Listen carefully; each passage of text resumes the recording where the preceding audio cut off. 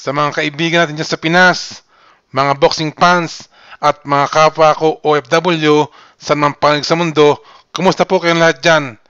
Ito na ang gusto kong i-share sa inyo ngayong araw. Pacquiao versus Spence, may posibilidad pa nga ba pagkatapos ng disgrasya nitong si Errol Spence?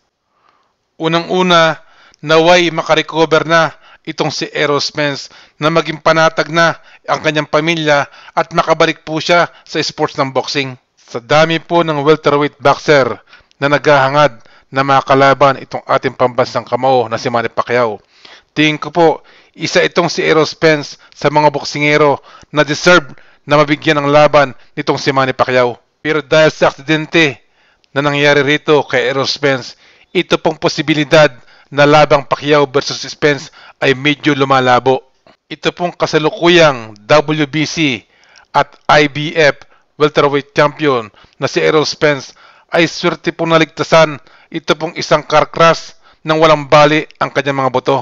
Ang magandang balita, itong si Spence ay gising at nagre-respond sa latest issue ng IBI Times. Ito raw pong si Errol Spence ay may mga sugat pero inaasahan po mag, na magkakaroon po ito ng full recovery. Dahil nga itong si Errol Spence ay kasalukuyang pang nasa ospital, wala pa pong timetable kung kailan ito makakabalik sa pagboboxing. At kahit po ayon sa balita, wala pong tinamong matitinding injury itong si Errol Spence ay magbabakasyon rin po ito ng mahaba-haba bago makabalik sa pagboboxing. At ganitong ang ating pambansang kamao ay nalalapit na rin ang kanyang pagre-retiro. Ito pong inaasahang pagsasagupa o pagharap nitong si Spence at ang ating pambansang kamao si Manny Pacquiao ay medyo lumiliit na. Wala pa naman pong 100% sure na pag-uusap dito po sa posibilidad na pagharap ni Spence at ni Manny Pacquiao. Pero kung magkakaroon po ng chance, ito po ay didepende na lamang kung gaano kabilis makaka-recover itong si Errol Spence. At ang tanong, doon sa panahon na makaka-recover na itong si Errol Spence, gusto pa kaya siyang makalaban ng ating pambansang kamao? Kasi po itong si Pacquiao ay hindi naman pwedeng maghintay ng napakaraming panahon para sa kanyang makakalaban. Tsak po ito napipili next year na agad ng kanyang makakasagupa. Maswerte nga po kung itong si Errol Spence ay hindi nagtamo ng mga seryosong injury sa kanyang katawan. Pero ito po ang aking opinion. Kadalasan po kasi kung mayroon mang mga injury ang sikat na atleta o boksingero, ito po ay hindi sinasabi lahat sa media ito po ay sinisikreto.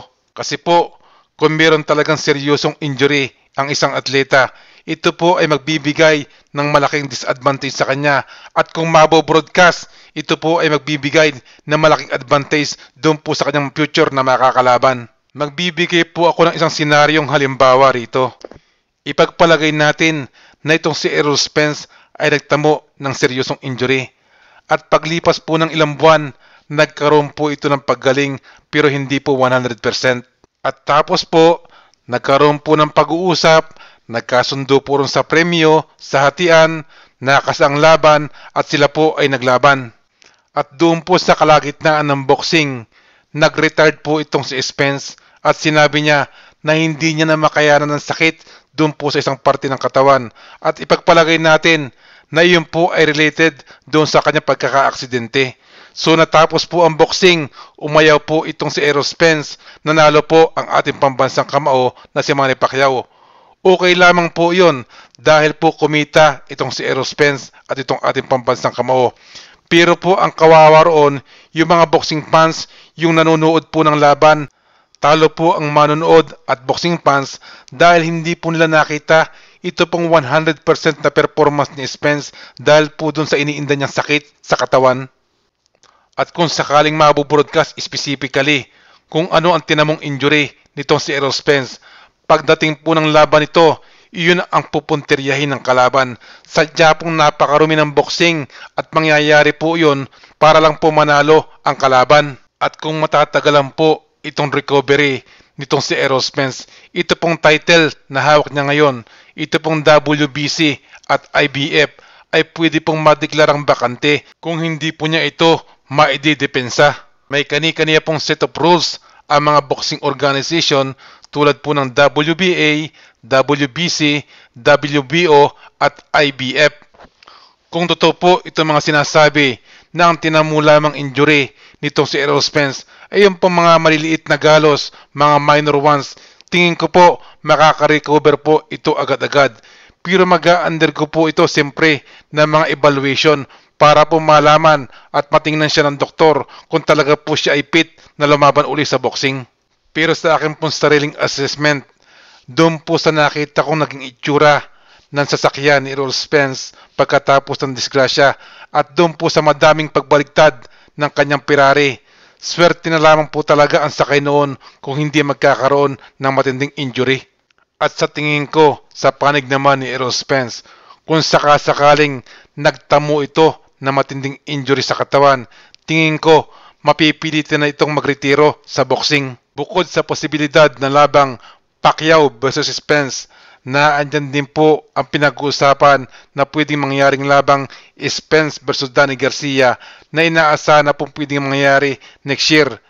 Pero bukod pa po sa mga laban na yan, na andyan din po ang posibilidad na paghaharap nitong si Spence at Sean Porter para po sa isang rematch. So kung hindi man po makasa itong si Errol Spence, dito sa ating pambansang kamao na si Manny Pacquiao, marami po naghihintay na posibleng laban dito sa kapapanalo na si Errol Spence. Pero isa lamang po ang sigurado, lahat po ng schedule na ito o balak ay maari na magbago dahil hanggang sa ngayon wala pa po nakakaalam kung kailan makakabalik itong si Errol Spence pero hindi naman nangangulugan na habang pansamantalang nagpapahinga itong si Errol Spence ay wala nang pwedeng mabuong magandang laban. Naandyan po sina Terence Crawford, naandyan po sina Danny Garcia, naandyan po si Sean Porter, at naandyan pa ang ating pambansang kamao na si Manny Pacquiao. At ito pong urong sulong na si Floyd Mayweather, pwede na rin nating isama pansamantala. At sa ikapapanatag ng pamilya ni Errol Spence, mga boxing fans, promoter at supporters, naway magkaroon ng mabilisang paggaling itong si Spence. So yan lamang po ang gusto kong i-share sa inyo ngayong araw sa mga kababayan natin sa Pinas, mga boxing fans at mga kapwa ko OFW na mataas ang aking respeto. Kung nagustuhan niyo po itong aking video, pakilike at kung po pwede rin po, mag-subscribe na rin po kayo. Maraming maraming salamat po sa inyong panonood.